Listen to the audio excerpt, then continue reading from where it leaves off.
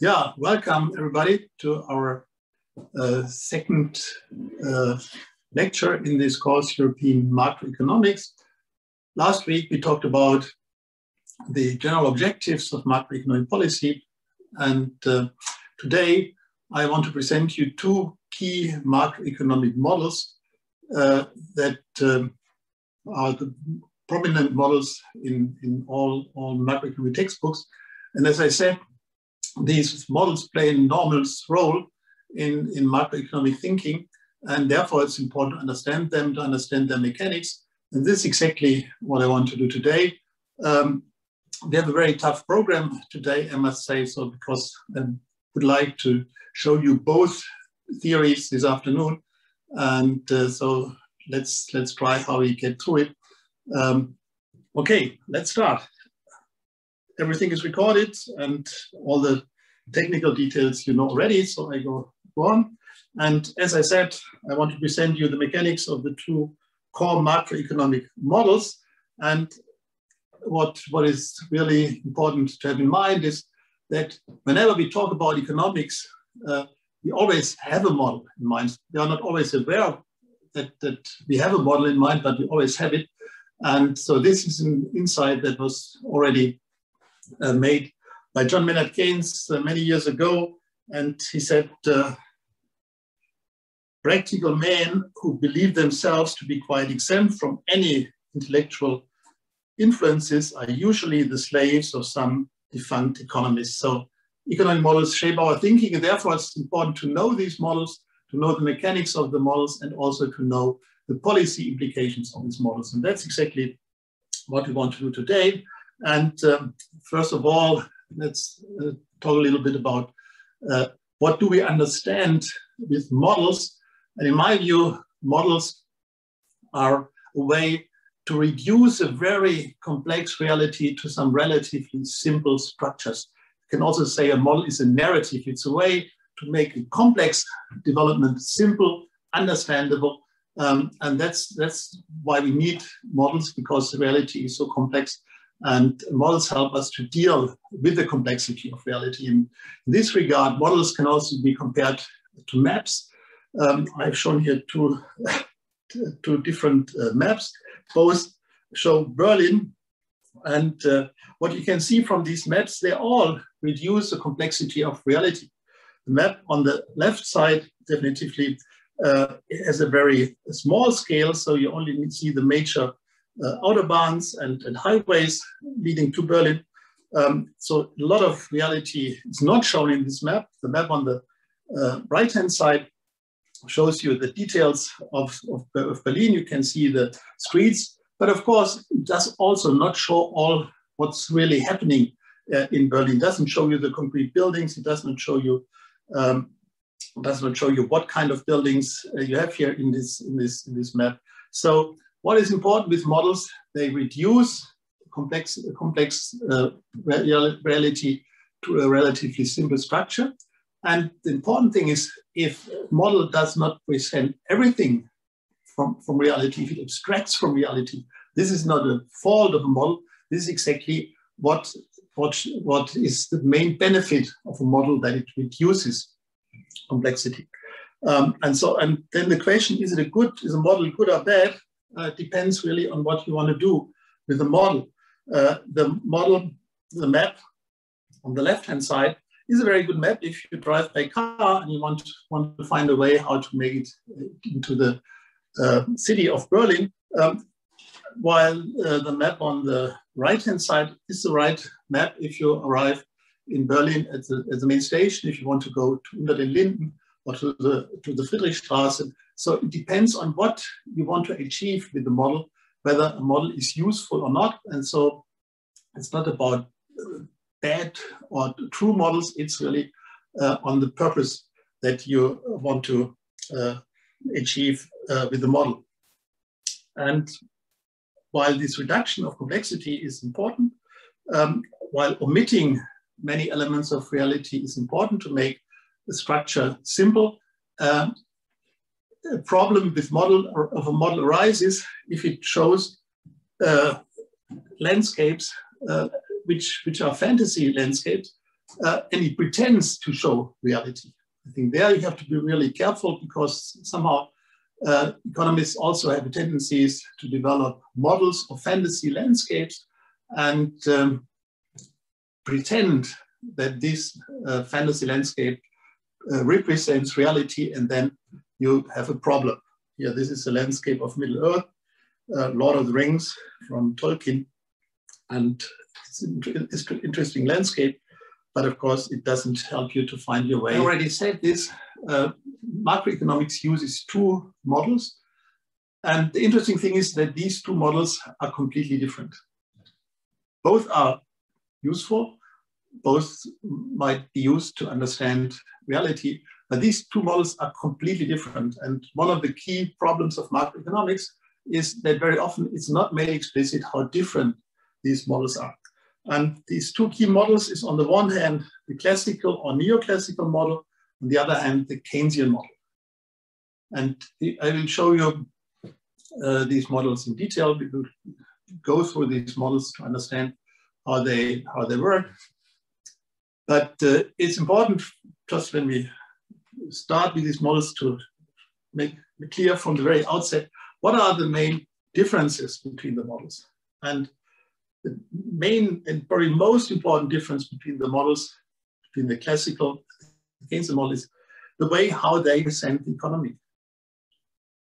And the classical model presents an economy which is by itself stable, self-stabilizing. So it does not really need politicians who interfere with uh, this economy because more or less it's self-stabilized. And the Keynesian model is just the opposite. It presents an economy which has inherent instabilities. And these instabilities require uh, stabilization by economic policy. So this is a, really the main core difference between the two models. And why are these models so different? Well, it depends uh, on the way of how they are designed. And the model design of the classical model is extremely simple. There's only one good, only one good in this whole economy. So the model tries to describe our reality of today with just one uh, good. You can say it's a kind of all-purpose good, and this good can be used for consumption, for investment, and also as a financial asset. And this is the decisive design feature of the classical model. The Keynesian model is closer to reality, I would say, because it differentiates. It has different goods. It has consumption good, investment good. And it has also money, and it also has bonds. So the design is, is different, and the different differences in the design explain also the different functionalities. The financial system in the classical model is more or less irrelevant. It's a veil. The financial system in the Keynesian model plays decisive role.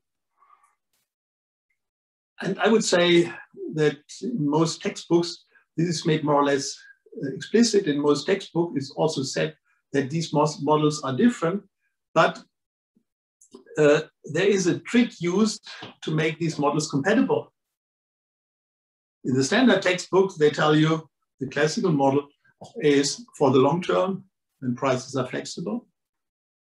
The Keynesian model is for the short term when prices are inflexible. So the idea is also these models are so different. They both describe reality. One model describes reality in in the long term, and the other model describes reality in the short term. Whether this trick is really is really uh, useful, uh, this trick really helps to make the two models compatible is something that we will discuss in more detail. These two model worlds can also be described in a somewhat different way. And I think a very useful description is by Josef Schumpeter, an Austrian economist who lived in the early 20th century. And Schumpeter made the differentiation between the two models. Uh, he says the classical model is, in his, his words, a real analysis. The Keynesian model, in his words, is a monetary analysis. And how does he explain it? He says, yes, the classical model proceeds from the principle that all essential phenomena of economic life are capable of being described in terms of goods and services, of decisions about them and of relation between them. So all can be described in terms of goods and services. Money, the financial system, is not needed. And here Schumpeter goes on saying here, money enters the picture only in the modest role of a technical, sorry, of a technical device that has been adopted in order to facilitate transactions. It does not, money does not affect the economic process, which behaves in the same way as it would in a barter economy. This is essentially what the concept of neutral money implies. So that's the classical model is a model for a barter economy because you have only this one good. What else can you do uh, with this model? The Keynesian model, or what Schumpeter calls monetary analysis, in the words of Schumpeter, says this model introduces money on the very ground floor of our analytical structure and abandons the idea that all essential features of economic life can be represented by a barter economy. It's just the opposite. It's not a barter economy. It's money. Money changes the world, so to say. And uh, Schumpeter says then money prices, money incomes, and saving and investment decisions acquire a life and an importance of their own. And it has to be recognized that essential features of the capitalist process may depend upon the veil and that the face behind is incomplete uh, without it. So I think that's a very nice characterization of these two worlds. The classical world with the one good uh, design is a world that assumes that all processes in the model, modern world can be described by a barter economy.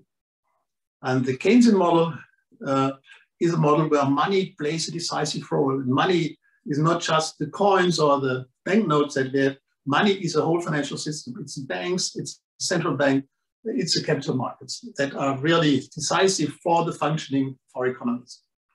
And uh, I think that's what defines, what, what describes these two model worlds. And um, from this uh, basic uh, introduction now, I think we can now go into the details of this world and we start with a classical model. And it's, it's a model for a wheat or corn economy. That's why we have chosen uh, this, this picture. Uh, so if you really want to understand uh, the functioning of the classical model is really the best way to have in mind this kind of corn economy. And we will go more detail uh, uh, in, this, in this world. So the key assumption of the model I already said this, uh, is this kind of all-purpose good that can be eaten, which means consumed, it can be invested, and it can also be borrowed, so it can be used as a financial asset. And that's a very peculiar assumption if you really want to describe our reality of today. But normally it's not discussed uh, in economic textbooks uh, whether this is really useful way to describe our economies. And it's interesting if you look in uh, textbooks by really leading economists, how they talk about it. So one textbook by Robert Barro and Xavier Sala-i-Martin says, one way to think about the one sector technology is an analogy to farm animals, which can be eaten or used as inputs to produce more farm animals.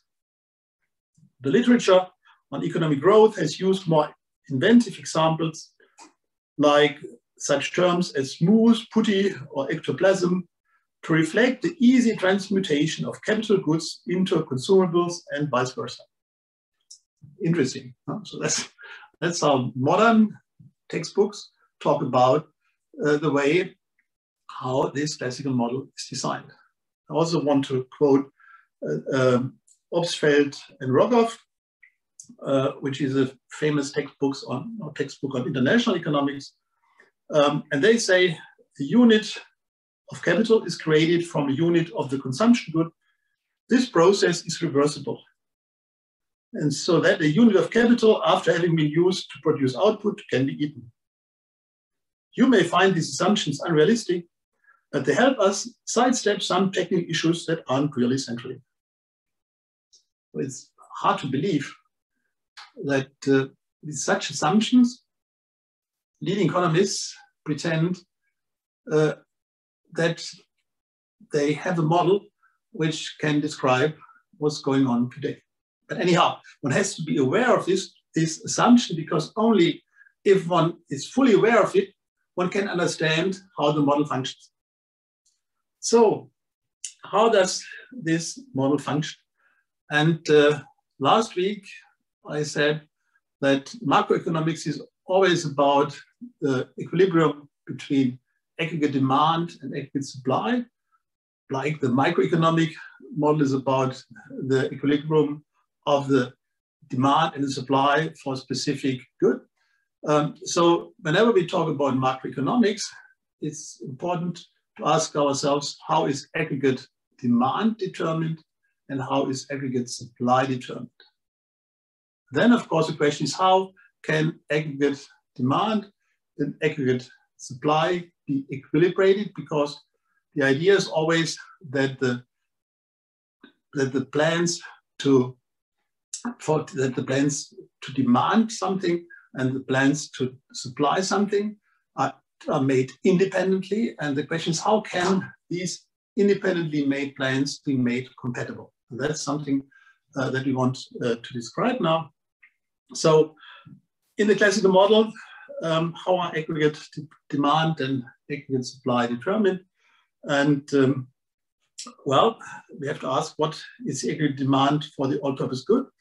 Uh, we assume there is consumption demand and investment demand for the all-purpose good. Um, and um, aggregate supply, we assume that the aggregate supply is determined by the available amount of labor and capital. Capital here is the all-purpose good from the previous period uh, planted uh, in the in this in the ground and producing uh, then the output. Okay, let's think about aggregate demand first. And if you have only one all-purpose good, for a consumer, the only decision is, will I eat or consume the uh, all-purpose good today or tomorrow? That's the only decision a consumer can take. So normally when we have microeconomics, a consumer asks himself, will I uh, consume good A or B? Will I drink uh, beer or wine, coffee or tea, um, pasta or, or uh, chicken? Um, so it's always about the decision, uh, the intratemporal uh, decision, which of two goods will I consume? But if you have only one good, of course, the consumer can only decide, will I consume uh, the all-purpose good today or tomorrow? And um, what determines this consumption decision between consumption today and consumption tomorrow? Well, it is determined by my preferences for consumption today and consumption tomorrow. Normally, people have a preference for consumption today. So if I'm thirsty and it's it's a hot day and I ask, will I drink a glass of beer today or a glass of beer tomorrow? Normally I will say, let's have the, let's drink the beer tomorrow, today, uh, and let's see what we will do tomorrow. So there's also preference to consume uh, goods today. And um, this, this preference is, is, is, is reflected that normally a certain amount of a good today uh, is uh, regarded as um, for, for, for, a certain amount of good today. If we want to substitute it in goods tomorrow, we want more of the good tomorrow if we are willing to give up one unit of, of the good today. So uh, the preferences for consumption today tomorrow matter.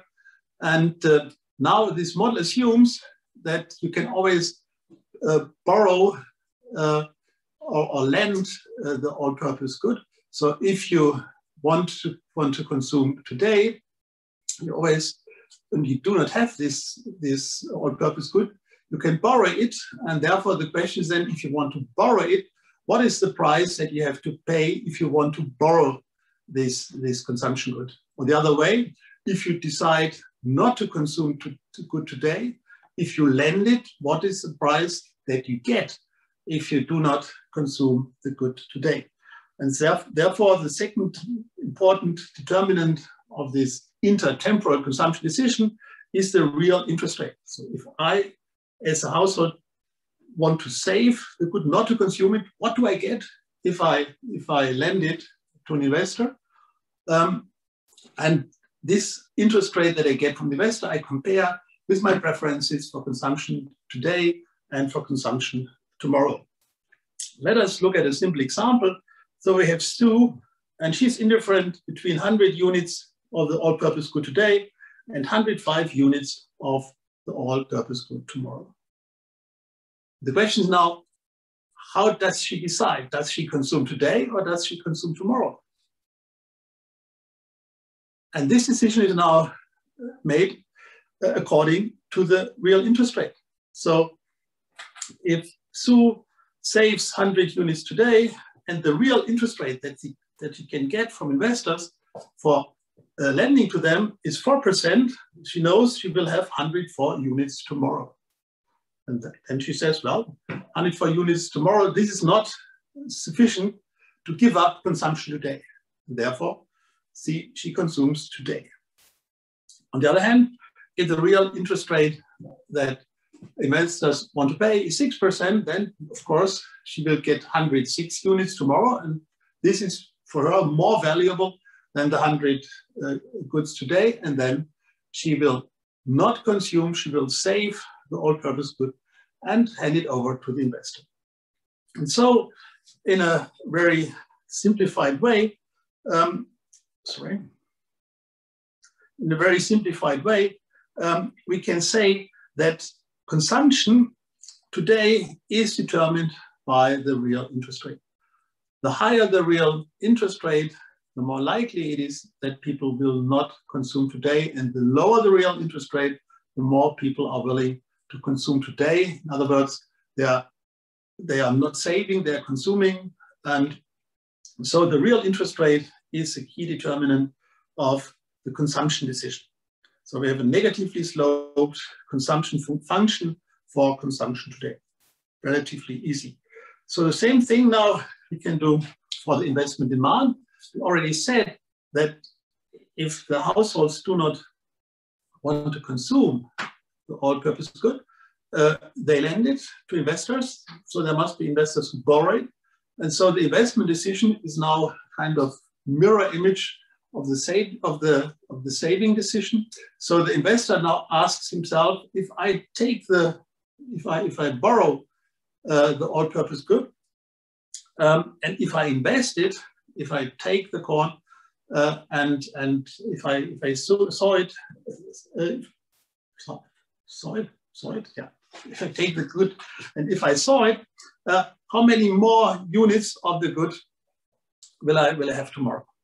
So this is, so to say, the return of investment, so to say, the production function uh, of, of, this, of this investment decision. I take a certain amount of the all-purpose good, I saw it, and then what do I get out of it uh, tomorrow? So this is, the this is the return of the investment.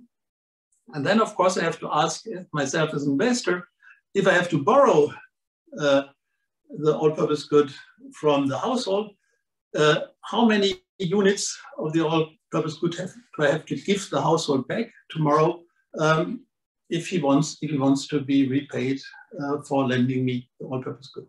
So the investment decision is determined on the one hand again by the real interest rate and by the return of investment. Again, let us try an example. If uh, Jim plants 100 units of corn today, uh, it will bring him a harvest of 106 units tomorrow. Is a return of investment. And then the real interest rate, let's assume it's 5%. So then he has to pay 105 units corn to the saver Sue tomorrow for borrowing 100 units from her today.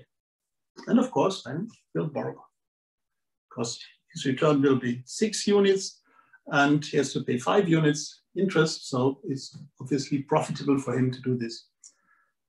On the other hand, if the interest, real interest rate goes to 107, um, then of course, uh, it should be if the real interest rate goes to 7%, uh, we have to correct this, uh, then Jim will not invest. So then again, let's have a very simplified way of, um, of presenting the investment function of this, uh, of this classic economy. So the idea is then the higher the real interest rate, the less people will invest. The lower the real interest rate, the more people will invest. So we have now, in a very simplified way, of course, we have the consumption function. Consumption today depends on the real interest rate. The higher the, uh, the real interest rate, the less will be consumed today. And we have the investment function in a kind of similar way. The higher the real interest rate, the less will be invested. The lower the real interest rate, the more will be invested. And now what we can do, we can add up consumption demand and investment demand to, uh, to get the aggregate demand of this classical economy.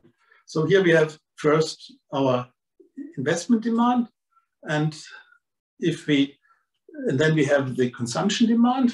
And now we can add up investment demand and consumption demand in a, in a horizontal way to get the aggregate uh, demand of our economy. And we can see this aggregate demand depends on the real interest rate. Very simple, I hope. Are there any questions so in the meantime? No? So far, no questions. So far, no questions. Okay, I think it's relatively simple. Of course, we simplify a lot. I must admit, you can uh, present all this in a much more complicated way, much more complex way. But I think for general understanding of the model, this is definitively enough. It's what matters is to understand the decisive role of the real interest rate for consumption demand and for investment demand, and then also for aggregate demand. So now we have aggregate demand. The question is now what determines aggregate supply? And in the classical model, um, aggregate supply is determined by the labor force and the capital stock. The capital stock is now to be understood as the amount of the all-purpose good invested one period before. Because the amount of the all-purpose good invested plus the labor give the output of the current period. I think that's very important. So capital, normally you think of machines and everything, but in the classical model, it's just the all-purpose good from the previous period that has been used for investment purposes. And that's what we have seen from these quotes uh, of, of um, Barro and, and, uh, and uh, Rogoff and others. Capital is is not a machine, what you might think when you hear the term capital is just the all-purpose good used as investment good. Yeah? And so the, the aggregate supply is determined by the decisions made a, a period uh, before. Um, and, um, and of course, it's determined by the amount of labor and by the amount of the all-purpose good invested. And um, these are the inputs for the aggregate supply. And what you get from these inputs in terms of output, again, in terms of the all-purpose good, is determined by the production function. The production function describes relationship between inputs and outputs. And typically uh, in, in the classical model, and I think most simple macroeconomic models, uh, the aggregate um, production, production function looks like this. Um, and it is, it is uh, it, you can describe it by what we call diminishing, diminishing returns of scale, which means, um, and, and here the aggregate uh, production function is now, describes now output um, in uh, depending on the amount of people that are employed. And that's how, how we describe uh, the, the aggregate supply. We assume that the capital stock is constant. And um, so the, the aggregate uh, production function shows this relationship between employment and output, assuming that capital is constant, and the diminishing returns, which explain the shape of the production function, assume that the output of each additional worker gets smaller the more people are employed. And that's, that's the logic. Uh, so it's a, a diminishing uh, returns of scale. And why, why, what explains this assumption? Well, um, one can explain it with the fact that these models were developed um, for agricultural economy, for agriculture, and you can uh, imagine if, if, you if you're um, in agriculture, if you have more people working on, on, on a field, of course, each additional worker has some positive effect on, on output, but of course, the more workers are uh, employed on the same field, then the additional uh, effect of this uh, worker on output gets, gets smaller and smaller. And maybe if you have too many people working on a field, then maybe the output, even the additional output can become negative. So, but that explains the shape of this production function. And so um, in the classical model, output is uh, determined by this production function. And as the model assumes full employment, that all people are uh, find a job, want to want to uh, work.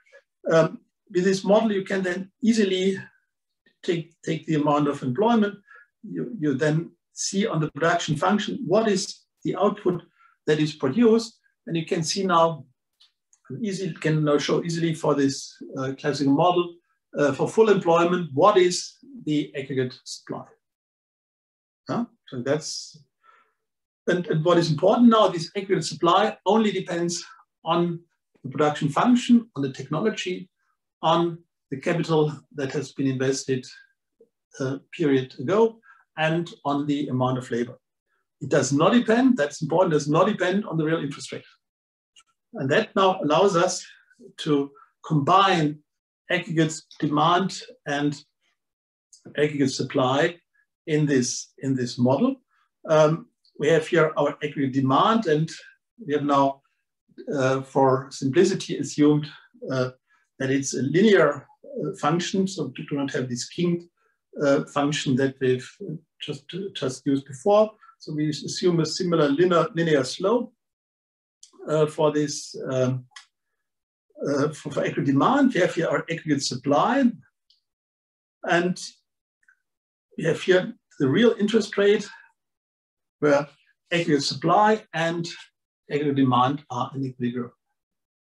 And now what we can uh, what, we, what we can now try to find out is what happens if we have a demand shock. For instance, if households have a lower preference for consumption today, what happens uh, in this model? And um, well, we get a downward shift of the aggregate uh, demand. And now we see um, that at the constant real interest rate, um, there's no longer full employment. So aggregate demand is no longer in equilibrium with aggregate supply. We have an excess supply. And what happens now? What is the way how this system is self-stabilizing? I said at the beginning, the fascinating feature of the classical model is that it is self-stabilizing.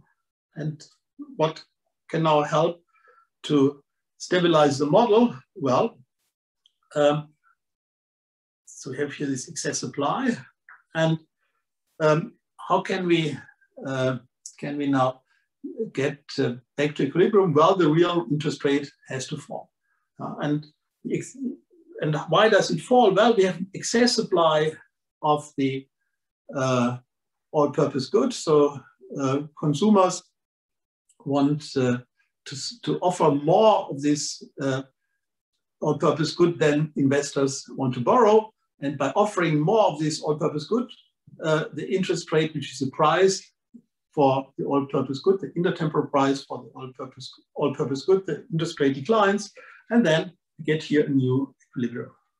So we can see in this model, uh, self-stabilization depends on the real interest rate, which is a stabilizer whenever there's a shock, real interest rate goes up or down, and it helps to stabilize uh, the system so that we don't have a problem uh, with, with uh, unemployment. So full employment is always guaranteed. So this is the first important insight for this, for this model. Self-stabilizing real interest rate is the key variable um, that prevents um, unemployment. And therefore, there's also no need for the government to interfere uh, with, this, with this economic system. So we got two questions. Um, yes. One question on the production function. Uh, why is capital constant in the production function? It's just it's just a way to simplify it. Um, and of course, you could can also have uh, capital stock variable, but in order to show the impact uh, on of employment on output, normally we assume that capital stock is constant. And then a second question also on the production function.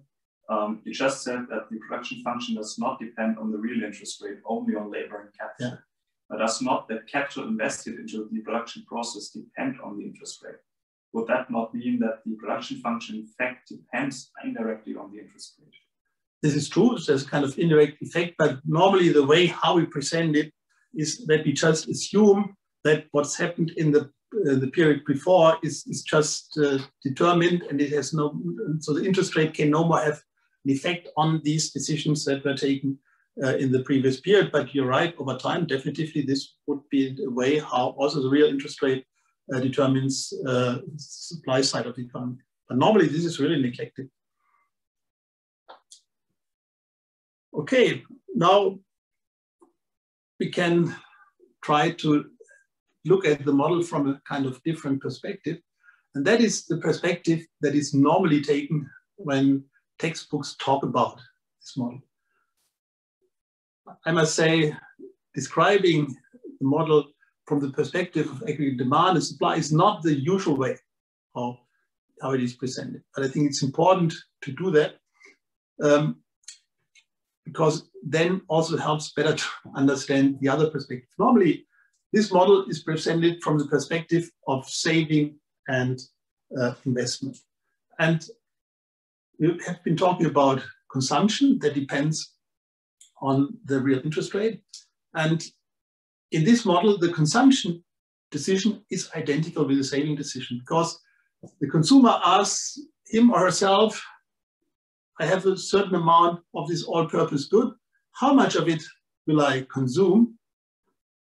And if the amount is given, the decision to consume is identical with the decision to save the rest of the all purpose good. And saving means, in this model, that you use the all purpose good to operate uh, on the capital market so that it can be then uh, borrowed by, by investors. And so the saving decision is the same thing as investment decision. It's just, it's just, it's just a mirror image. And um, yeah, you can see it here in, in our chart um, where we have the, the income. Um, and now um, you can say, well, if, if we have a very low, um, if you have a very low um, uh, interest rate, then all the output is consumed nothing is saved. And on the other hand, if the real interest rate gets very high, everything is saved, nothing is uh, nothing is consumed. So these two functions, the consumption function and the saving function, are just mirror images. Uh, and, but normally this is not mentioned in, in, in, models, so people just normally present it just as the uh, as, as, a, as a saving function. And of course, as the consumption depends on the real interest rate, uh, of course, saving also depends with the opposite sign on the real interest rate. And this allows us now to present the model in a different way, and that's the way how it is normally presented. Uh, you can present now this model which just describes the goods market, saving and investment. Now it is presented as a model for the capital market. because now you have our investment function that is the same. And now you have the consumption function represented as a saving function. And now you have a model where you have saving investment, and you have here the real interest rate. And then the textbook says, the standard textbook says, this is our capital market. This is a market for loanable funds, sometimes also said. Um, and here we can see that the real interest rate is determining uh, what's happening on the capital market, determines the saving, which is then not presented as the mirror image of consumption. It's now presented in the class in the standard textbook as a supply of funds. Uh, an investment is described as a demand for funds. Well, that's a very, very interesting way to present a model for a goods for a one good market, aggregate, aggregate demand, aggregate supply for one good market. It is now suddenly presented as a model for the capital market. And um, you can look in almost all modern textbooks. Uh, that's you can find you can find this chart, and they say it's the financial market, but also it was maybe a little bit difficult to go this go through the uh, consumption function and the investment function, but it's also not that complicated. You can see what is what is genuinely a market for this all-purpose good, a market for a kind of barter uh, economy, intertemporal barter economy, is suddenly transformed and presented as a market for, uh, for funds as a financial market. And it's really astonishing that in, in, in textbooks of the 21st century, you get this chart presented as a chart that says this is how our modern financial markets are working. This is really, really, really surprising. So, um, what, what you have, to, what the takeaway is now in this classical model, the so-called financial market is in principle a market for um, for this for this all-purpose good. It's it's a kind it's financial market is, is is is in reality a goods market, and what is really important here is that the real sphere is identical with the so-called financial sphere. This is not a financial sphere. It's a so-called financial sphere. Yeah? And so this so-called financial sphere, this, this model that you can see here in the chart, uh, is not a veil over the real sphere. It's just the backside of the same coin. And I think that's, that's really an important takeaway that in this model, there are no financial decisions. There's only the decision to consume, which is the same thing as a decision to invest. Uh, sorry, there's only the decision to, to consume, which is the same thing like the decision to save. And there's, on the other hand, the, the investment decision. So with a consumption decision, investment decision cannot describe a financial market. I think that's important insight. So I've presented you this, this classical view, and you might ask, is it really, is this really a way how today economists are thinking? Because we started the quote from Keynes that somehow uh, the ideas of, of economists shape our thinking uh, on economics, on economic policies. Is this really a realistic way uh, how, uh, how people think? isn't it, isn't, isn't it that really a little bit strange? But you can see famous economists like Larry Summers, uh, who was US finance minister, he was chair of the uh, US uh, Council of Economic Advisors. Uh, he said in 2016, just as the price of wheat adjusts to the balance of supply and the demand for wheat, it's natural to suppose that interest rate, the price of money, adjusts to balance the supply of savings and the demand for investment in the economy.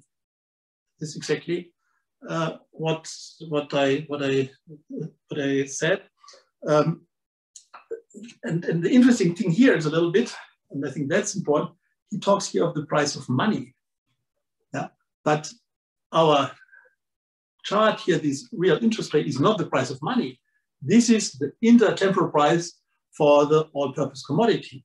It's it's not a price of money. It's it's an intertemporal price of of for the for the uh, all-purpose good.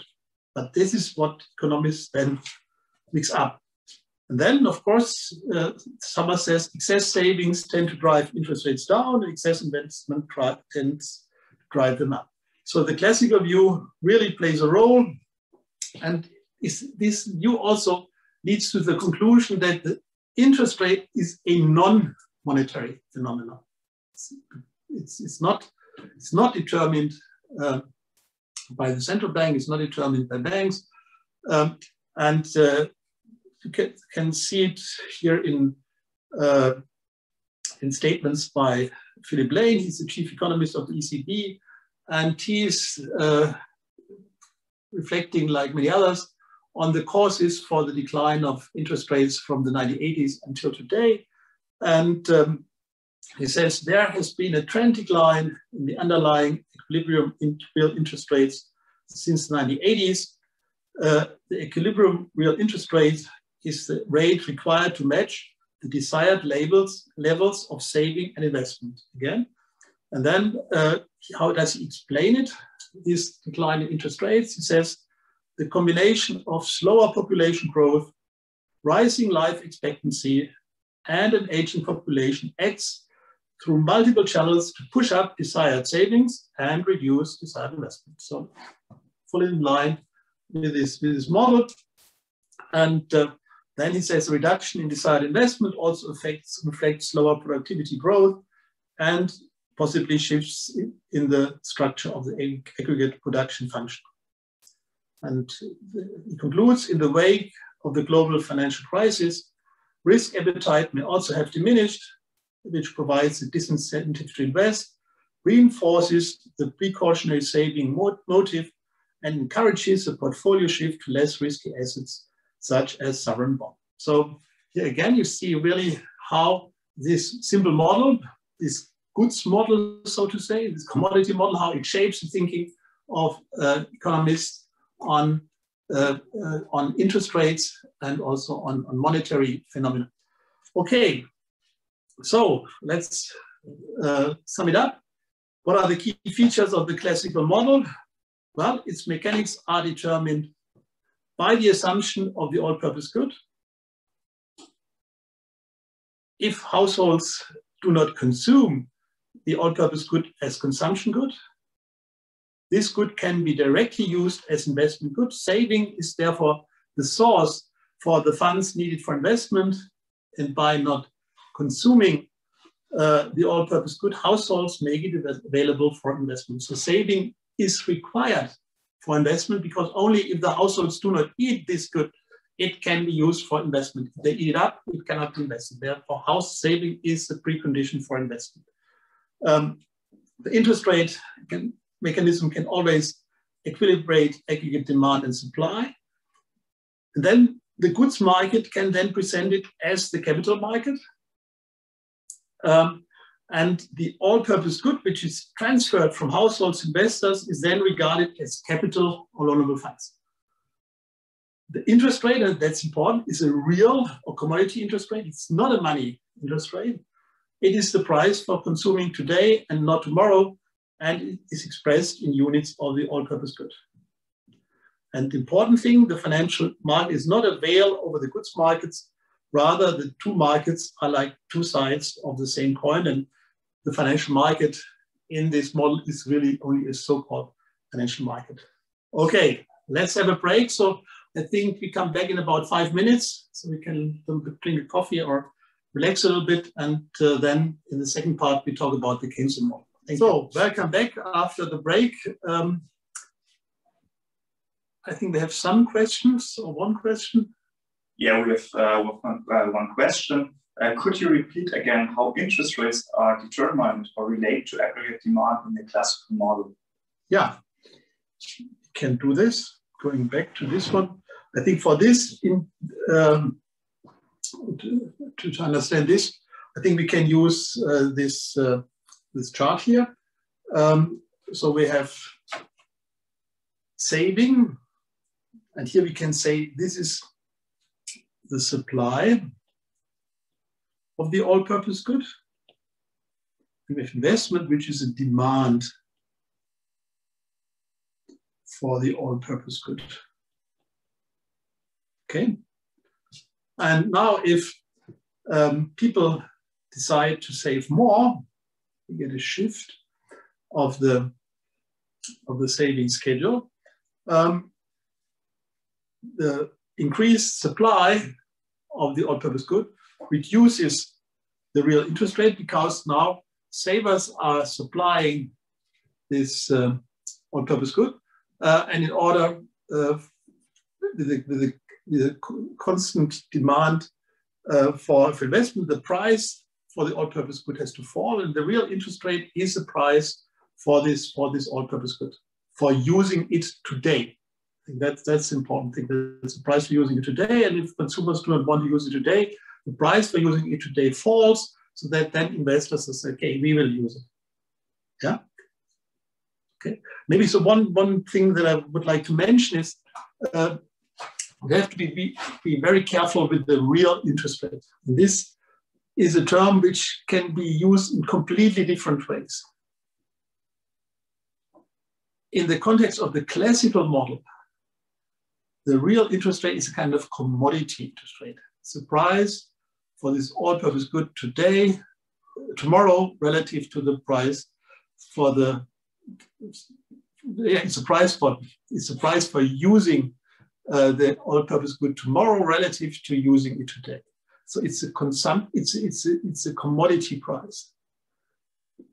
What we'll see now when we talk about the Keynesian model, the interest rate is a price for money for using money today, not for using all purpose good. And so in the Keynesian model, we'll talk about this in detail, the interest rate is always a money interest rate. So we have a commodity interest rate in the classical model and a money interest rate in the Keynesian model. What we often do is that we use the term real interest rate for a money interest rate minus the inflation rate. That's the standard way how we use the term real interest rate.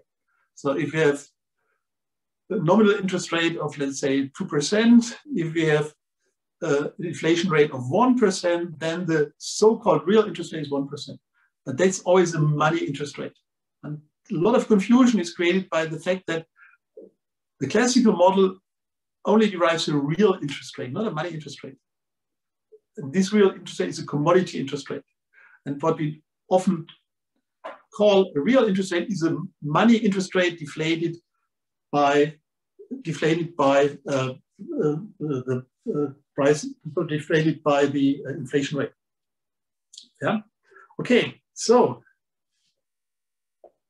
let's go to the Keynesian model. And this is a model where money matters. I think that's the key insight. Money is not in the, we'll talk about this also a little bit more in, de in detail. In the classical model, money is useless. You don't need it. You've only one commodity that can only be traded intertemporally. So why do you need money? Yeah, so money is absolutely useless in this model. In the Keynesian model, money plays a decisive role. And um, so when we talk about models, it's important to see how they are designed because the functioning of the models depends on their design.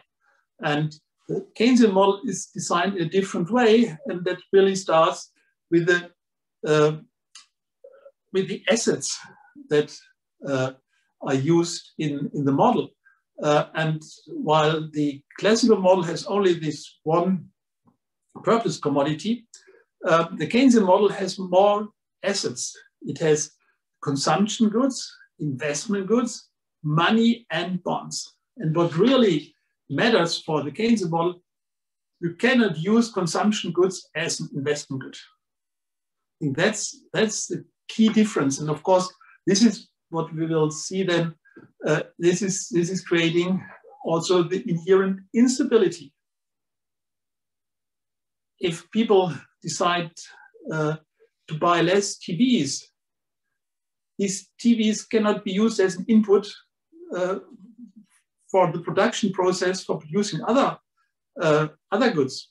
Uh, they're simply uh, standing around. They, they, uh, the, they're standing around the shops and they do not know, know uh, it's a kind of involuntary stocks that are built up and they cannot be used. And of course, that makes a huge difference if products that consumers do not want to buy are just idle, nobody wants them, this creates a problem. If these products can be used as an investment input, it's wonderful.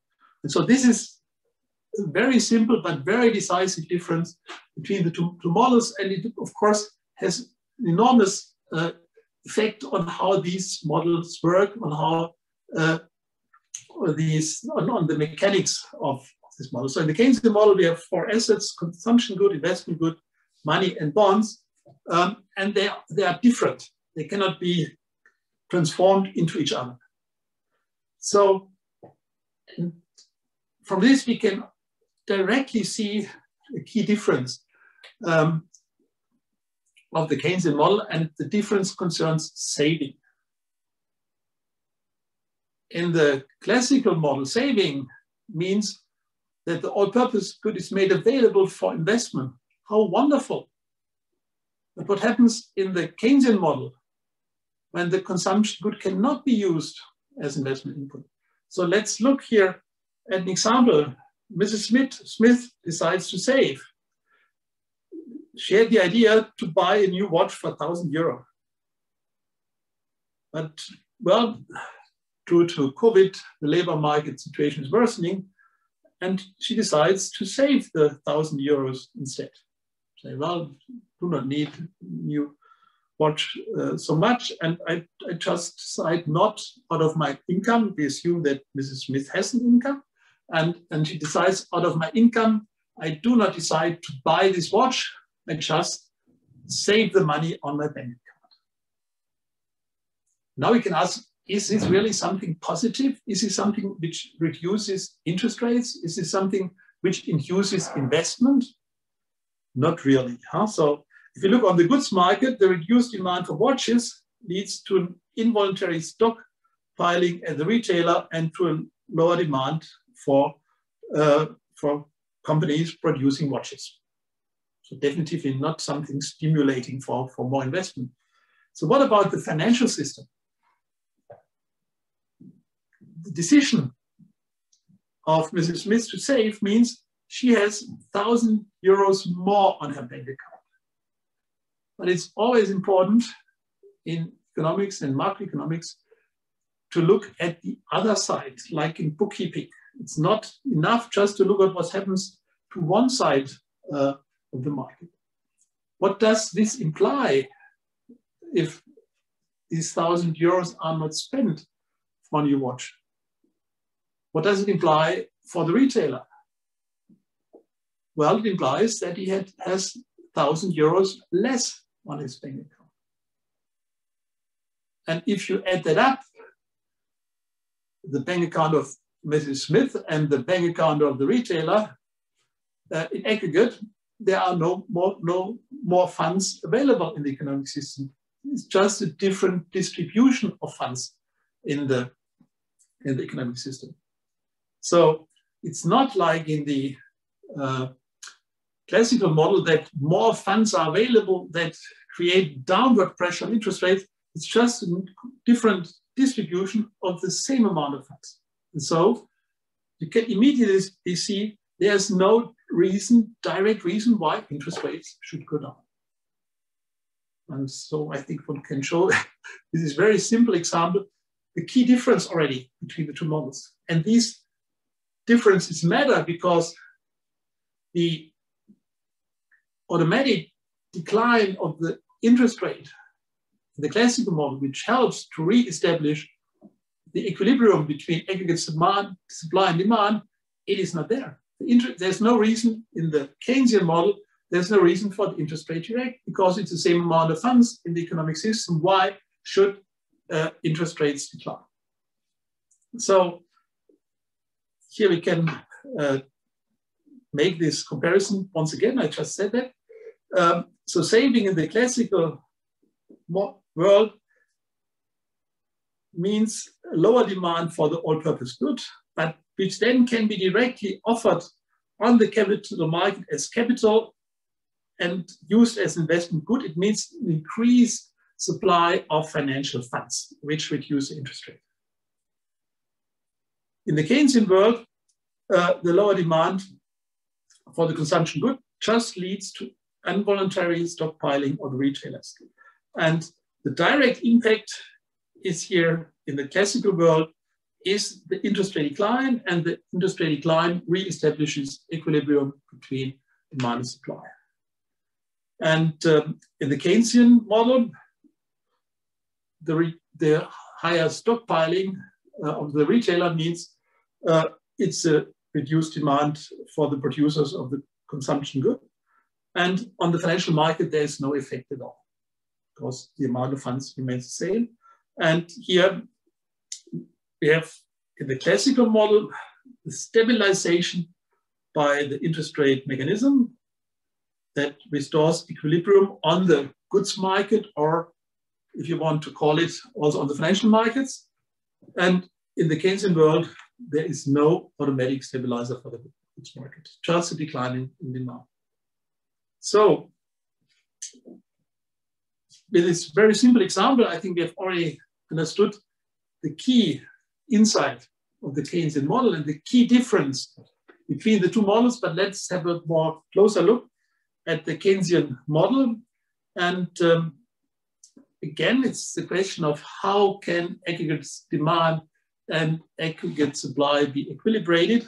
And uh, here in the Keynesian model, which has a short-term focus, indeed, uh, we have to differentiate between long-term supply and short-term supply. And uh, on the one, one hand, and then we have aggregate demand. And um, the, on the supply side, long-term supply in the Keynesian model is more or less identical to the aggregate supply in the classical model. Short-term supply, that's what really matters, is determined by aggregate demand. So the Keynesian model is very much demand determined. Aggregate demand plays the dominant role in the Keynesian model. And uh, what are the elements of aggregate demand? Well, this is relatively the same as in the classical model. It's consumption and investment, but consumption is now determined in a different way than in the uh, classical model. So the key assumption of the Keynesian model is this uh, demand determination of short-term supply. And this is something which in the COVID crisis you can uh, very uh, often uh, observe. Uh, so in, in, this COVID crisis, we had lockdowns, um, we had all kind of, of, of uh, regulations and restrictions. And uh, you could see that, of course, several sectors of the economy, uh, there was, was, was a strong decline in aggregate demand.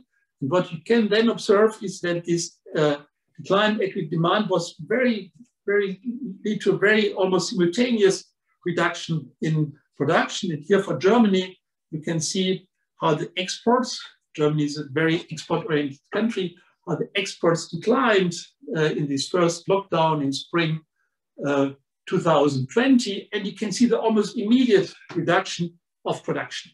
And then again, when the export situation improved, it's kind of V-shaped uh, recovery, you could see also how production very closely followed uh, the, the demand. So the idea that short-term uh, uh, production, short-term supply is determined by demand is, I think, a very realistic assumption. Uh, if you look at, at how, how the uh, how uh, production is now organized uh, in, in, in, our economies, it's really this kind of just-in-time production so that really the companies try to follow with their production very closely to, to demand. And so I think that's a very good description of, of, really, of, of our reality. So in, in, in, the Keynesian model, the assumption is that short-term aggregate uh, supply is, is really determined by, by short-term uh, uh, uh, demand. And this assumption, which is a key assumption of the model, the demand determination of short-term aggregate supply um, is shown here by this 45 degree line, um, which is the short-term aggregate supply in the in the Keynesian model. Here we have aggregate supply and aggregate demand. And the idea is if I have an aggregate demand of eight, um, it leads to an aggregate supply of eight. So this is a key, key assumption of the model, and um, it's important to understand this 45 degree line in this way. You can look in other textbooks, you can read all kind of confusing things about this 45 degree line. It's amazing in, in leading textbooks that the authors obviously do not understand it, uh, and, and it creates so much confusion uh, for students because supply and demand are the key uh, uh pillars for macroeconomics. And if I present a macroeconomic model and I'm not able to identify that this 45 degree line is short of aggregate supply, it's confusing from the very beginning. But really, take a, have a look, look in other textbooks. It's amazing how much nonsense really prominent economists write on this 45 degree line. And it's so easy. You just have to ask, what determines aggregate supply? in the short term? Well, it's demand. And that's, of course, the brand mark of the Keynesian model, is demand determination of supply. So we have already short-term aggregate supply uh, in our Keynesian model. And um, what is what about long-term uh, aggregate supply? Well, we assume, like in the like in the classical model, that long-term aggregate supply is determined with a production function using capital and labor in the same way as we have already described it for, for the classical model. And um, we have here just a kind of vertical line. We have here our um, aggregate, aggregate supply. Uh, and we assume, of course, it's a little bit also arbitrarily, but we assume that the long-term aggregate supply is not determined by, uh, by aggregate demand, which is, of course, simplification.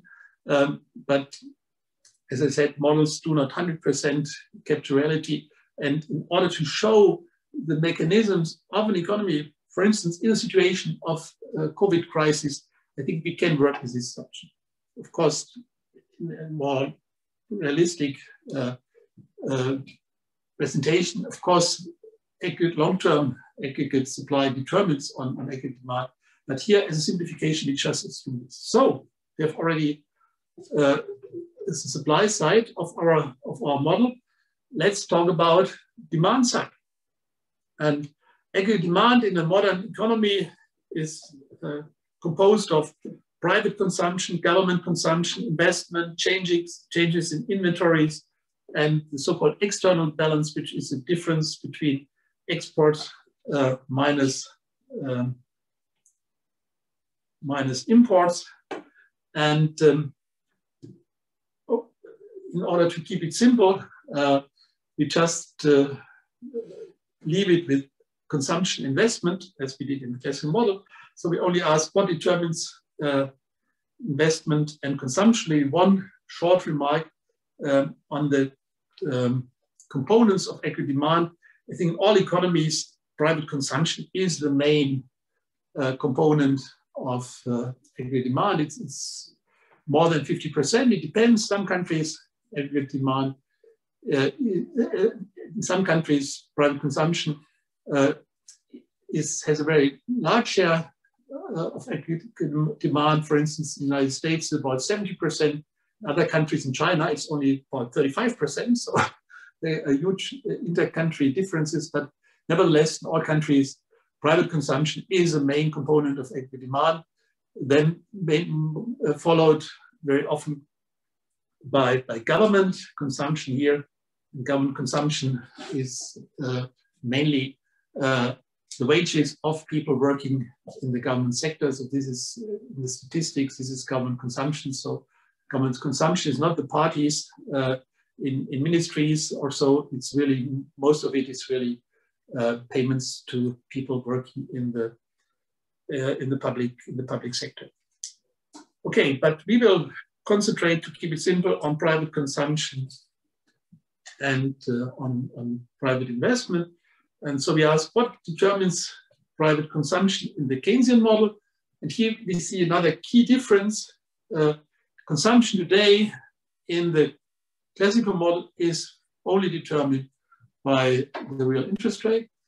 And in the Keynesian model, in a simple way, at least, simple presentation of the model, we assume that consumption is only determined by uh, the by the current income. Um, so the consumption decision is only determined by how much people earn. Um, and um, the real interest rate in this simple model does not play a role uh, for, for consumption, the, the Keynesian model. So consumption is determined by, by the current income, and we assume that the current income is generated in the production process. So we assume that all the supply that is created in, uh, in the process is uh, turned into income of, of households. Um, and so, uh, yeah, aggregate supply is identical with the income that, that the households generate. So we do not differentiate between profits and, and, and wages. So we assume it's all, all, all uh, the value added that is created leads to income of the households. And we assume now that uh, the, the consumption is determined by, by the income, and we assume that households do not spend all the income, they save a certain part of it, um, and a certain percentage is saved. Uh, and of course, uh, also means that, that, that, the, that the difference that, that what is not saved is, is consumed. And so B is so-called marginal propensity to consume. So that is the percentage of income which is consumed and not saved. And A is, you, is a kind of auto autonomous consumption, uh, which means that even if people have no income at all, they need to consume. Um, and so this is a kind of constant.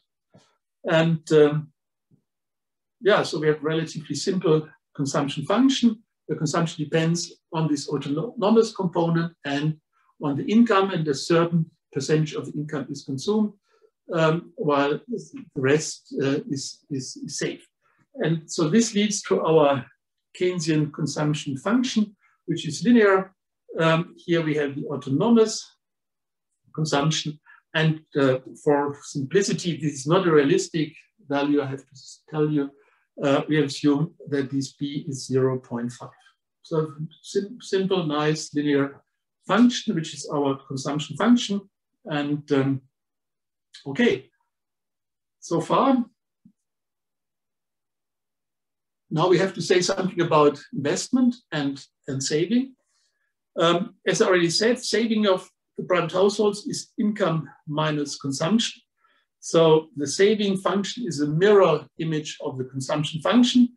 And if um, we have the consumption function C equals a plus uh, b times y, uh, we can uh, derive a saving function, which is then uh, minus a plus 1 minus b uh, times y.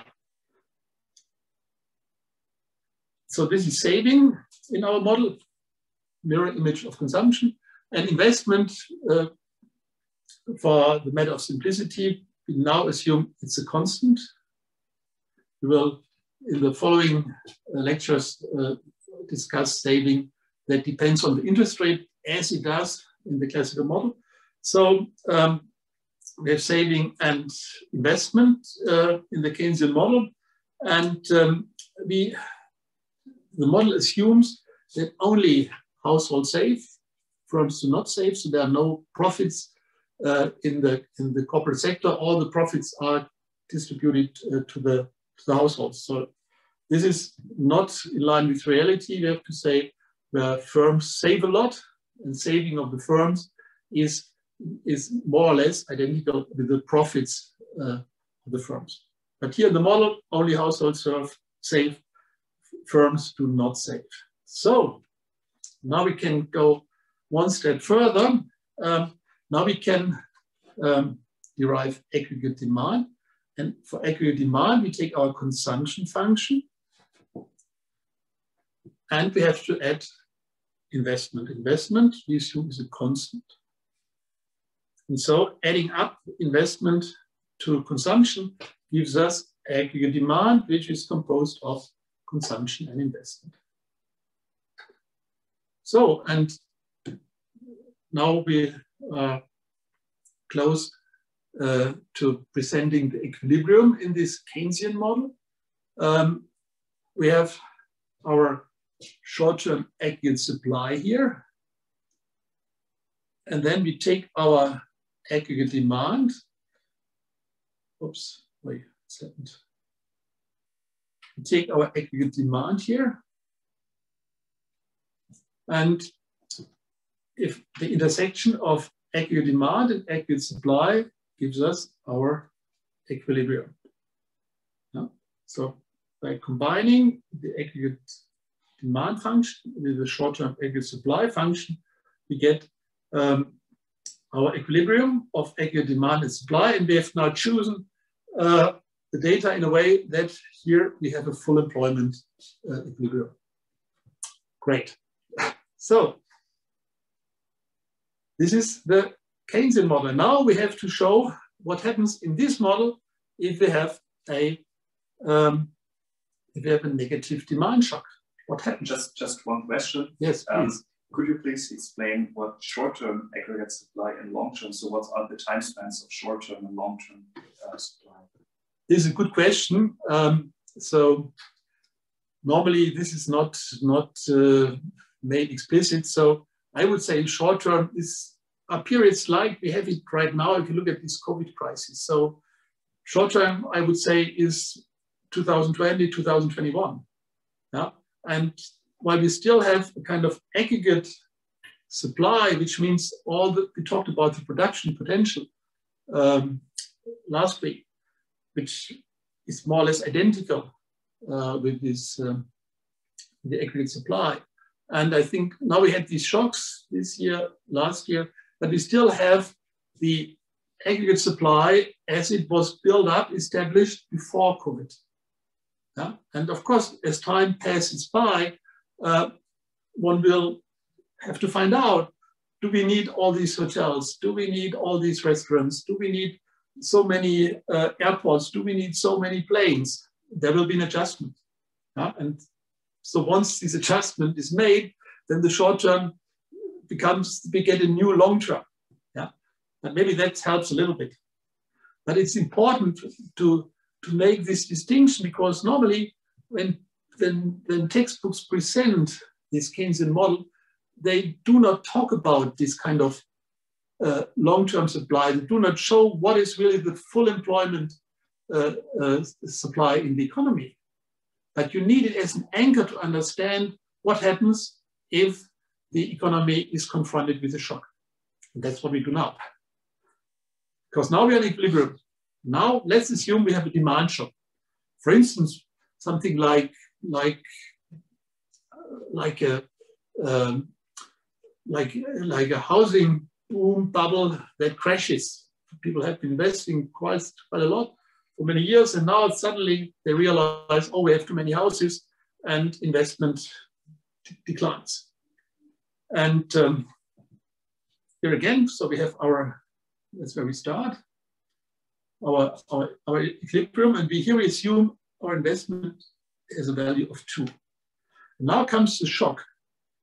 Investment declines from two to one. And that shifts our aggregate demand downwards. Now that's the logic of the model. The lower aggregate demand also lowers aggregate supply. So we get here a new equilibrium. And uh, here we are. And, and now if, if with eight we had full employment, obviously with six, um,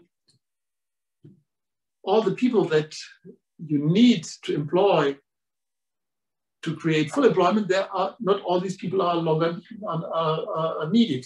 So you need less workers for this lower output, and so we have unemployment. So this is now the very basic um, presentation of the, of the Keynesian approach. We have this demand shock. Demand shock leads to a new short-term equilibrium between aggregate supply and aggregate demand. And it is an equilibrium with unemployment. And now the question is, are there any equilibrating forces in the system? How can we get out of this situation? How, how can we get back from six to eight? How can we um, find a way to, to increase output back to the, to the full employment level? And in this very sim simple presentation, there is so far no automatic stabilizer in the system because we have just this supply that just contracts. People just produce less. And now the supply of goods is in line uh, with the reduced demand for goods. Nothing happens. And this is, I think, the key insight from the Keynesian model that if the economy is confronted with a major negative demand shock, you get a new short-term equilibrium on the goods market, but it's an equilibrium with unemployment. And there are no direct, no automatic forces that lead back to the um, to the full employment equilibrium because, as we have said, um, if uh, households decide to save, this does not create an additional supply of funds that reduce interest rate. It just shifts the funds, the, the, the available amount of money from companies to households. And this is also not something that stimulates the investment by the companies if they have less money on their bank accounts. So there is also from the financial side no automatic stabilizer. So this is, so to say, the key difference uh, between the classical uh, view and uh, the Keynesian view. Uh, so the classical economists, classical economists believe that the, that supply always creates a sufficient demand. It's the so-called Say's law, going back to Jean-Baptiste Say, a very famous French economist.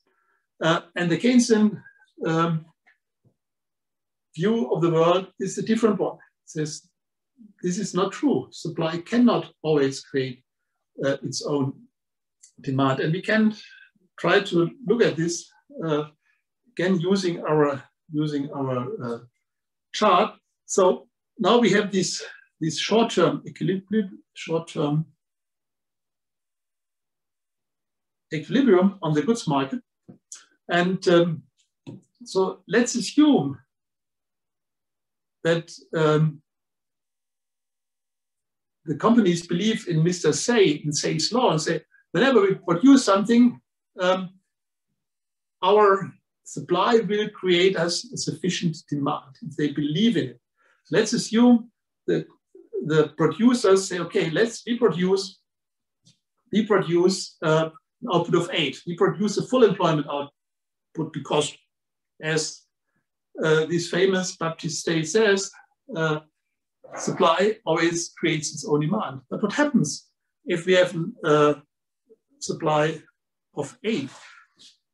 As I said, the supply is always identical with the income that, that people receive in this, in this model. So what happens with the supply of eight? Well, the green line is consumption. Yeah, so with a, um, supply of eight, um, we have consumption of six. And we have investment of one unit, which makes seven.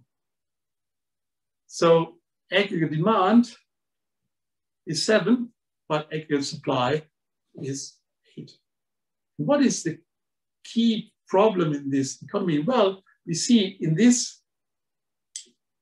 uh, situation where uh, the the companies say, okay, we produce a full employment output because we assume it will create its own demand. You see here, saving is two units, while investment is only one unit. We see here, we have a disequilibrium between saving and investment. Saving plans in this situation are higher than investment plans. And in the classical model, that would be no problem because then uh, the saving would come to the capital market, reducing the interest rate and more investment would be generated. In the Keynesian model, where the saving is television sets that cannot be, be used as an input for investment, uh, it's just uh, stockpiling, which, which has a negative impact on the consumers. And so you see here in this example, the problem in the Keynesian model that saving is not something that you can use for investment. In the classical model would be no problem. Saving would reduce interest rate. And so uh, what is really important uh, is that the role of saving in the two models is completely different. And, and um, from Keynes, you have this uh, nice quote uh, in his general theory that he says an act of individual saving means, so to speak, a decision not to have a dinner today but it does not necessitate a decision to have a dinner or to buy a pair of boots a week hence or a year hence or to consume any specified thing at any specified day. Thus, that's important, the decision to save depresses the business of preparing today's dinner without stimulating the business of making ready for some future act of consumption. Savings, says Keynes, is not a substitution of future consumption demand for present consumption demand. It is a net diminution of such demand. So saving in the Keynesian model is always something that has a negative effect on aggregate demand without having any positive effect. Just reduces today's uh, aggregate demand and it, it, says nothing about what's going to happen uh, with aggregate demand tomorrow. I think that's that's a key insight, and that explains why saving in this model only has a negative effect. But one has to add, and Keynes didn't say that. The key difference to the classical model is that it's said that consumption goods and investment goods are different goods in the Keynes model and are identical goods in the classical model, because that is what really makes a key difference. Yeah? And unfortunately, Keynes also has not made this so explicit. So you can have a look in James Keynes' book, General Theory, but it's very difficult to read. And it has led to a lot of confusion uh, because, yeah, it's, it's, it's, it's, in my view, it's, it's not a well-written book. Uh, it's not a textbook that helps you to understand uh, what's going on. I think you can read the book once you know how uh, these uh, models work, how we have understood the mechanics of the two uh, model worlds, then when you then read the Keynesian book, you say, oh, that's what he means and that's what he means there. But he is, in my view, uh, somebody who is really confusing to read. Uh, but nevertheless, have a look inside, try to understand it. But if you don't understand it, you should not be frustrated. And that's really important. Well, and so I think we the role of saving, the classical model, we have already described it at length. So it's the key factor is that this saving means that the all-purpose good is not consumed, and as it is not consumed, it becomes available as an investment good. Wonderful. Saving is, is a great thing because it frees up uh, funds that can be used for investment. So, so it's, it's really a, it's an extremely positive thing. And of course, if people try to save more, as, as we said, interest rates decline, lower interest rates make it more attractive for, for, for companies to invest. And if more investment is made, the economy grows and everything's fine. So isn't that fascinating to see these two model worlds contrasted, to see how different they are, and to see how easy it is to understand why they are so different. it's, it's not a very complex uh, uh, reflection required to understand why there's a difference. Just, it's just a very simple assumptions, the key design of the two models, which is so decisive for the outcomes. And once you have understood this, uh, you can also understand uh, all the all the economic debates that uh, have taken place over over decades and centuries. And in my view, enormous confusion is created in the economics literature because the most econ economists are not really aware of these fundamental differences. They confuse it, they mix it up. And of course, if you mix it up, uh, you will have a terrible confusion. Okay, so far, uh, here we stop. I'm happy we made it through both models. I hope you understood something of it. I hope I was not too fast.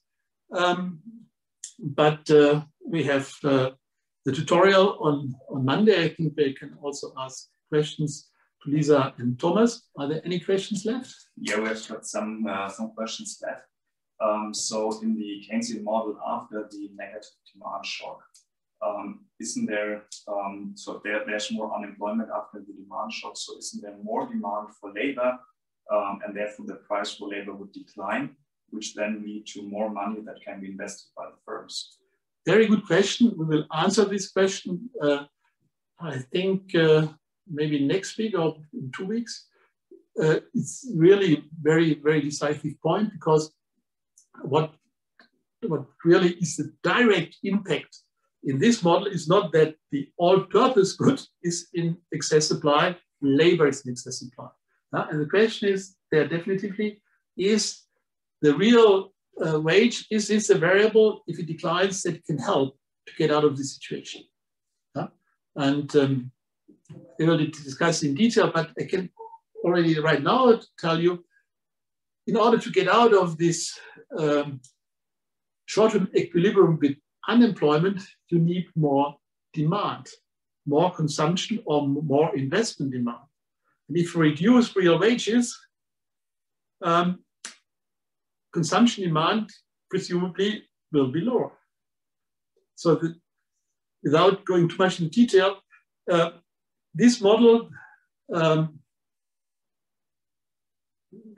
in this model, you have to ask yourself, what is the impact on agri demand because agri demand is a constraint for full employment. And if you get, want to get out of the situation of, of, uh, of unemployment, you have to stimulate agri demand. And the question, key question is, do lower real, do lower wages increase aggregate demand? And at first sight, you, you would make question mark because if, if you give less um, wages to the workers, consumption might go down. And so then uh, the, the problem of insufficient aggregate demand gets inverse. But a very good question, and we'll discuss it in more detail. Uh, another question is, in the Keynesian model, are higher savings meant as inventory or also as higher monetary savings by families? It's both. So higher inventories you can define as savings, maybe. Um, but um, one has to, to differentiate here between, yes, it also means higher savings of, of the household sector, of course, yeah. Of course, higher savings of the household sector, yeah. okay. And uh, thinking in a classical model, market-based uh, finance is more efficient because savings are directly used for investments. Is this true? Once again? Is uh, a market-based finance more efficient because savings are directly used for investments in a classical model? So you mean a um, market-based finance compared to a bank-based finance? Is that the question? I, that, think, so. I think that's the question. Huh? Yeah. Um, so if, if you so so we have this uh, discussion on on financial systems which rely very much on banks, continental European systems, and systems which rely more on the capital market, like uh, in the United States. Um, but uh, to tell you the truth, household saving is never something that can be used to finance anything. As already showed you in this very simple example, if Mrs. Smith has more money on her bank account, the companies have less money on their bank account. So household saving does not create any additional financial funds. This, so there are no additional funds. And so the question whether financing is made by the capital market or the banking system doesn't, doesn't play a role. But it's a good question, and we will go in detail uh, through the uh, implications of these two models uh, for, the, for the financial markets. We talk about bank-based finance and also on, on, on capital market-based finance.